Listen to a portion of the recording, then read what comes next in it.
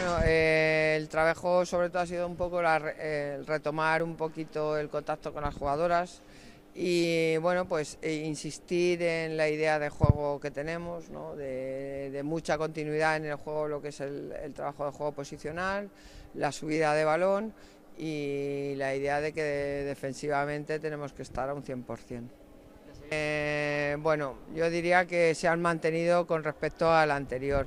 También es cierto que estamos, hemos pillado una época en la que algunas de ellas ya han terminado su competición, otra, el grupo tiene muchas juveniles, jugadoras que aún están jugando y se van a jugar a la fase eh, del Campeonato de España. Entonces, eh, es un momento un poco crítico ¿no? en, ese sentido.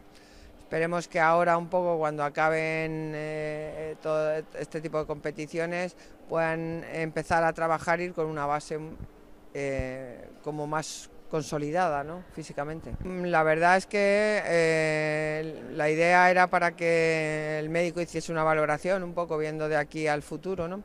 En principio, eh, según el doctor, eh, todavía está un poquito blanda, por decirlo en algún término. ¿no? Es cierto que ha estado currando o trabajando con nosotras, sin mucho contacto, prácticamente ninguno, pero todo trabajo en movimiento, más en pista, recibiendo balón, un poquito más integrada. ¿no? Y la verdad es que ha respondido bastante bien, aparte del trabajo que se ha hecho aparte con ella el fisio. No, el grupo no es definitivo. Estamos viniendo, tenemos un grupo de trabajo quizá entre 20 jugadoras o una cosa así. Eh, gente que ha faltado, pues bueno, porque estaba, eh, tenía las fases de ascenso, como hemos dicho, otras por problemas de exámenes, que en eso sí que estamos teniendo bastante problemas a la hora de convocar a las jugadoras.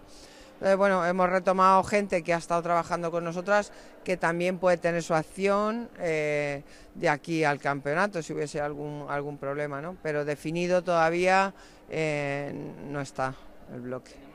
Bueno, pues tenemos super, muy, como muy claro que Dinamarca, Rusia, Suecia y, son gente que no queremos ver para nada, ¿no? Eh, directamente. Entonces, nuestra idea es ir a lo mejor con las opciones eh, por la línea si nos sale Portugal, ojalá nos cayese un Macedonia o uno de estos en la línea o Serbia, en fin, que quizás sean hoy por hoy estén mucho más eh, asequibles. Yo creo que sí, te quiero decir, es difícil, ¿eh? Me refiero a que muchas veces dice, bueno, quedar ocho, pues yo creo que para nosotros es, es todo un reto, ¿no?